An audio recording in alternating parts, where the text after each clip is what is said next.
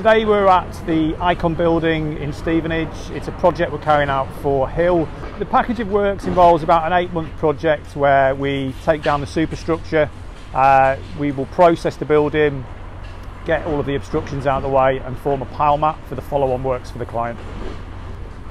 As with all of our projects, we're segregating as much as we can at source safely so we can get that recycling uh, or reuse uh, as high as possible.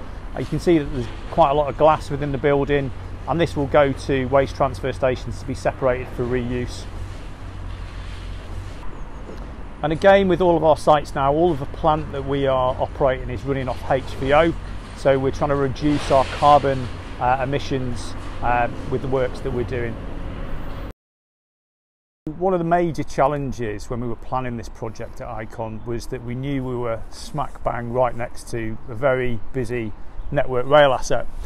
Um, Hill and Rye have worked in the past um, six months or so to kind of satisfy Network Rail that nothing we do is going to impact their asset.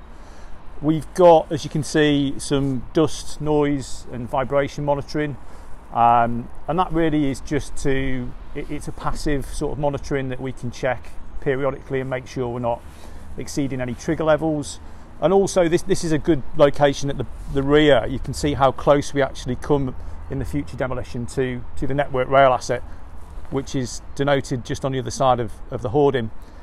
At this point, we need to use a suspended screen, so there'll be a crane, contract lift. Um, we use a suspended screen really to eliminate any dust travelling uh, onto the railway line, but equally, we use water suppression. Um, and we damp down the building as much as we can before the demolition to, to keep that dust uh, from becoming airborne as much as possible.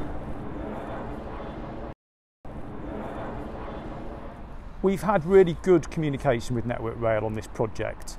Um, you never know what team you're going to get from Network Rail, and they're often new people that you haven't formed a relation to, uh, relationship with before. But the guys we're working with, they've actually come down from Birmingham a couple of times. Um, they visited site. They're quite supportive of what we're doing. They understand that we are the demolition contractor and we know what we're doing. But you know, in, in the same breath, we need to demonstrate to them the checks and balances that we're going through. They were quite interested in the crane, obviously, because it's going to be next to their asset.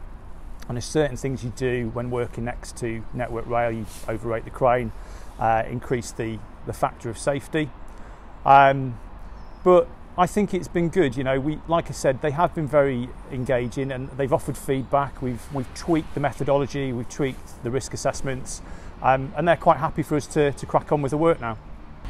So work's uh, progressing really well. Uh, we've got another few months left on site.